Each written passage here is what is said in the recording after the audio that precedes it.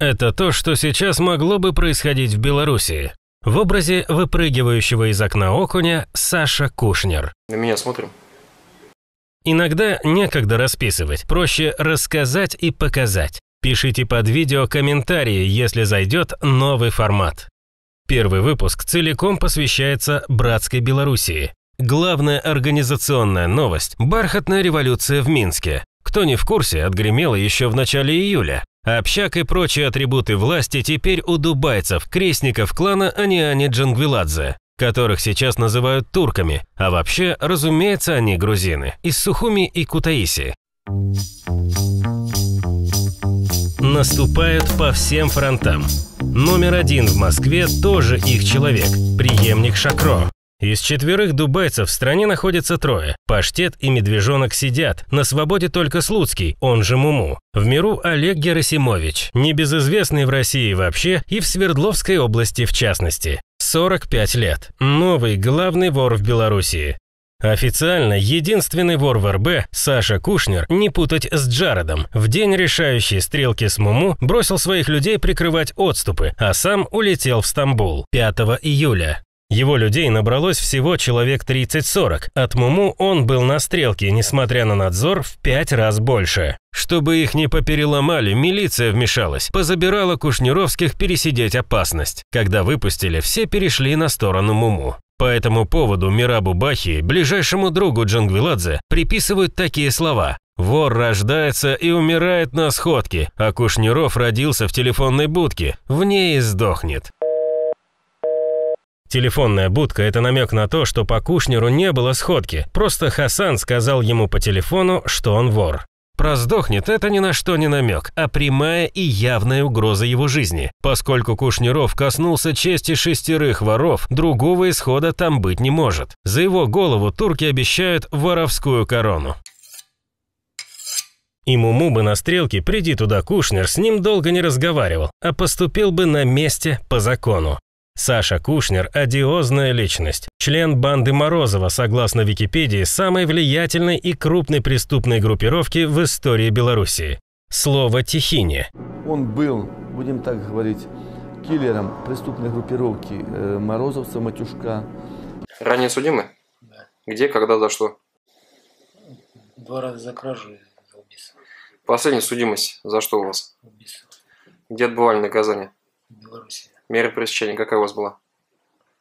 Высшая мера наказания. Расстрел, замена 15 годами. Говорят, будто деньги в размере 100 тысяч на взятку судье выделил Морозов, хотя известно, что единственное, что в таких сделках принимается в качестве оплаты, это душа. Считается, что тогда же Кушниров был завербован с целью внедрения в уголовную верхушку. И действительно, после этого карьера Кушнирова резко пошла в гору. К концу 90-х Кушнер в Гродно уже был смотрящим от Бирюка за половиной крытой в противовес знаменитому Юрию Полшкову, Бороде, который смотрел от Галея. Бирюк и Галей – белорусские воры, которые сначала недолго жили мирно, а потом поссорились из-за того, что Бирюк где-то что-то сказал про Галея, а потом при встрече не смог обосновать. Бирюк – выходец из бобруйской еврейской мафии, а Галей – это тот самый, с драки которого с Пичугой на свадьбе дочери Хусана в Софисе начался последний воровской раскол. За то, что Кушнер тормозил вкрытой его прогоны, Галей, когда сам приехал в Гродно, позвал Кушнера в 115-ю хату, котловую, и избил. Середина 1999 года. Зная, что Кушнер стремился в семью, Галей ему сказал, где будет решаться твой вопрос, обязательно должен присутствовать я, без меня не решишь. Потом, когда Галея тормознули, перед освобождением в 2008 году Кушнер с Кандыбой в Гродно зашли в камеру к Полшкову и побили его.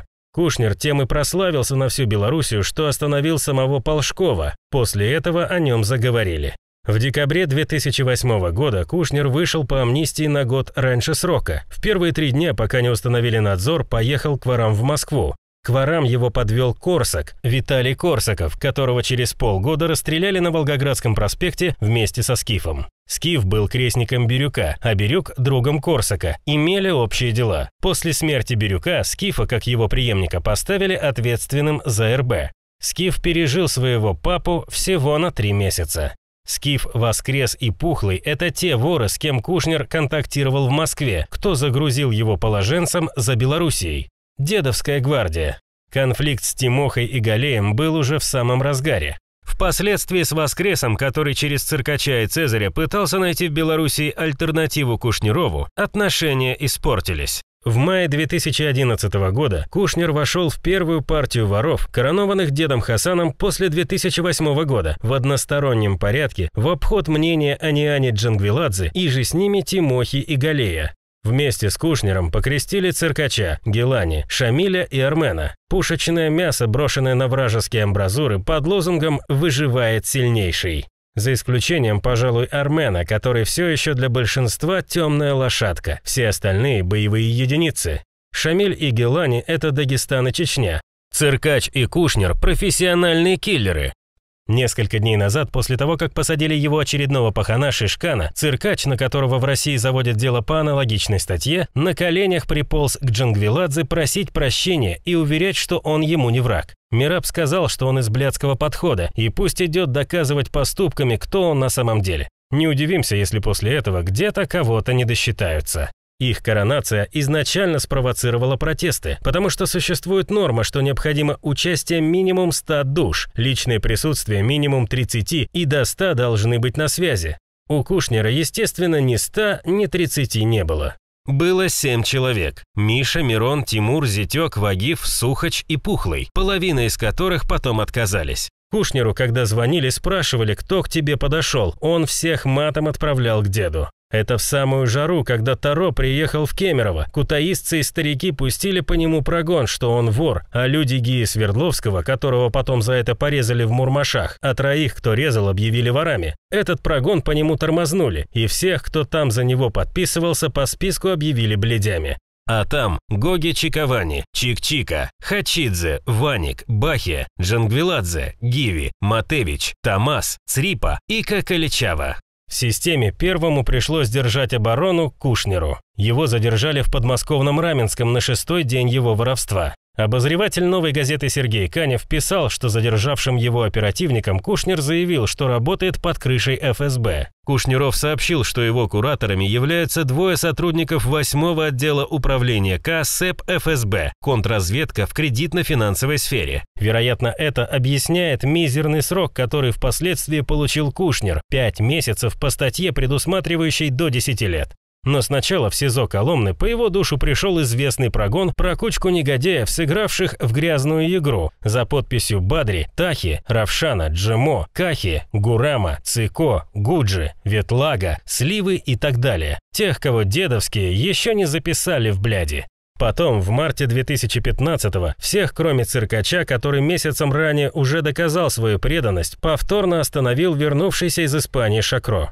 Из них Кушнер был единственным, кому Шакров впоследствии так и не оказал доверия. Полноправно называться вором Кушнер смог только к 2016 году, благодаря авторитету Гули и только в его окружении. Гули оживил сразу двух протеже Пухлова, Кушнера и Рому Ставропольского. В стиле деда. Сказал, пусть будут воры. Никто с Гули спорить не стал. Надо отдать должное, что в то время Кушнер обладал полным контролем над Белоруссией. Сопротивление Гродненского блаткомитета в лице солдата, Абдулы, Ираклия и так далее, авторитетов синего движения, которые руководствовались мнением Бадри и компании, было временно нейтрализовано. Но вернемся в 2012 год. 6 ноября Кушнер был задержан в Москве и выдан в Белоруссию, где впоследствии осужден к двум годам за нарушение надзора.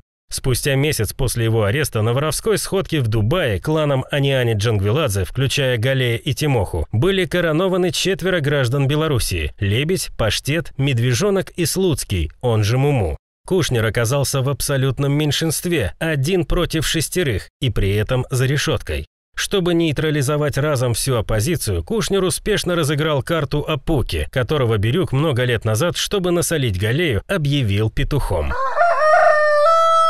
Апука – это Галея ближайший Кент. Галей – крестный Апукиного сына. Бродяга, стремяга, пять или больше лет смотрел закрытый Гродно. Когда освободился, стал смотреть за Белоруссию в целом. Без пяти минут должен был стать вором. Но через месяц-другой снова посадили за чужую мокруху. Стали вешать на него то, что он не совершал. В Могилеве были в бильярдной, он и пацаны его. Он только с Москвы приехал, где заявил о себе. И на улице была драка. Апукины боксеры и сын Апуки, которого крестил Галей. Кого-то они побили за дело, тот головой об бордюр и умер в больнице, но Апука его пальцем не трогал. А ему стали шить организацию. В знак протеста начал хипишевать, вешаться, еле успели вытащить из петли. Чтобы усмирить, обкололи галоперидолом до беспамятства и закинули в камеру к петухам. Пришел в себя через несколько суток. Несмотря на то, что железобетонных доказательств контакта против Апуки не было, сам он ничего не помнил. Его объявили просто по факту нахождения в петушатне. Неразбериха пошла из-за того, что одним Бирюк сказал, что Апука петух, а другим обратное. Дубайцы ссылаются на то, что лично слышали от Бирюка. В Могилеве накрытый тогда сидели Мустафа, Дадон, Муму и Аким Волгоградский. Дадон смотрел закрытый и позвонил Бирюку. Бирюк сказал, Апука не петух, но чиферить я с ним не буду. На что Дадон сказал, Палыч, я с полкрытый здесь не чиферю, и что? И все, и на этом тема умерла. Галея Пуку сразу же и отмыл. Немного посидел он до выяснения, а потом от Галея пришла малява, и все вкрытой с ним чиферили. Поздравляли, что решил свой вопрос, руки жали. По всем камерам нарочно водили и доводили, что у него все ровно. Правда, потом Апуку все равно отравили. Мышьяком через баланду. Слишком на многих людей бросал тень. И вот по прошествии нескольких лет Кушнер снова поднимает Апукин базар. Сам или с чьей-то подсказки и объявляет шестерых воров Тимоху, Галея, Муму, Медвежонка, Паштета и Лебедя педерастами на основании того, что они полоскались с Апукой и проигнорировали мнение Бирюка, которого на тот момент уже не было в живых, и воров, и весь блаткомитет, и всех, с кем Апука ходил по камерам, чиферил, руки пожимал. Половину белорусской братвы Кушнер на полном серьезе объявил петухами, и это имело силу в лагерях в течение нескольких лет. Меньше года назад Кушнер смягчился и довел через Вову Лысого, положенца Могилевской крытой, его последний оплот, что петухи не все, а только галеи и дубайцы, а остальным дал общий расход, простил. Но погубила Кушнера не внешняя фронта, а внутренние распри. Весной из-за возникших разногласий по поводу кассы от Кушнера отошли его ближайшие смотрящие, на которых замыкалась вся братва, и предъявили ему претензии. 4 мая милиция нейтрализовала одного из отколовшихся претензеров, Сашу Шульца, бывшего смотрящего за Белоруссию, который ехал на разборку к Кушнеру. После этого, улучив благоприятный момент, к ситуации подключились турки, крестные отцы петухов в кавычках, и позвали Кушнера в Турцию. Он не приехал. 17 июня, после того, как Кушнер в очередной раз не явился на встречу, Коба Ахвледиане сказал ему по телефону, чтобы он вором не назывался. Кушнер ответил, а я и не назывался, так что Муму ничего и делать не пришлось. Где Кушнер сейчас, неизвестно. Но в РБ его нет. Все решения, которые он принимал по людям, уже пересматриваются. Из-за гули турки пока не проявляют настойчивости в отношении Кушнера, но, похоже, это отсрочка временная. Будущее Кушнерова теперь целиком зависит от того, насколько крепка его дружба с Гули и с МВД Беларуси. Еще одна предсказуемая, но оттого не менее шокирующая новость из Белоруссии. Приговор Рашаду Исмаилову. 10 лет за провоз оружия и фальшивый паспорт. Фамилия судьи Козей. Эксклюзив от Виктора Федоровича. О чем говорят воры?